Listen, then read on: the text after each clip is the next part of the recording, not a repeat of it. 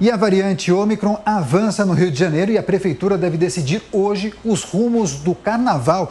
Vamos acionar nossa reportagem. O Matheus Coelhos ele está ao vivo diretamente da capital fluminense e tem mais informações de como será realizada essa reunião e quais devem ser os resultados. Matheus.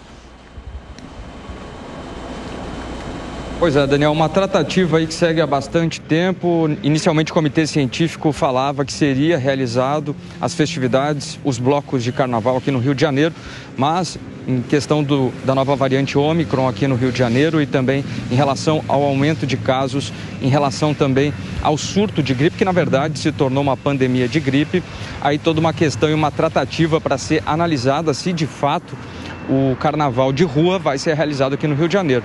Agora, as escolas querem saber, porque os investimentos dos patrocinadores aí chegam a 40 milhões de reais. São diversos blocos que se preparam já desde o início do ano.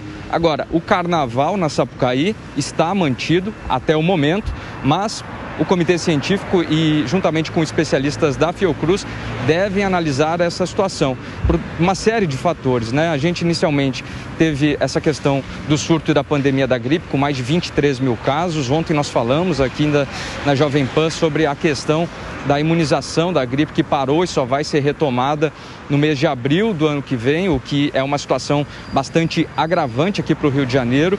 O prefeito Eduardo Paes criou cinco novos postos para atender essa demanda e aí a gente soma isso à questão de todos os turistas que estão aqui de diversas cidades, diversos estados do Rio de Janeiro e estrangeiros. A gente tem também aí todo um estudo, né, para fazer uma avaliação dos 121 casos suspeitos da variante Ômicron aqui no Rio de Janeiro.